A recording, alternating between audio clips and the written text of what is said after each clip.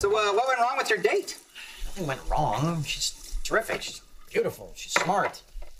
But She's 47. you said she was in her mid 30s. That's what I thought.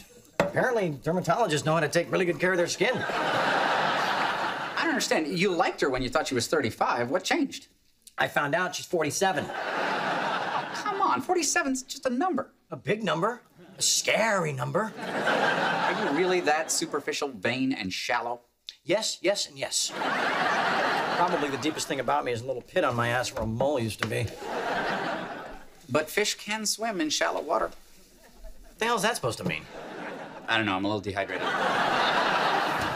what I'm trying to say is that it's silly to throw away a, a, a promising relationship based on an arbitrary number. It's not arbitrary. She's really 47.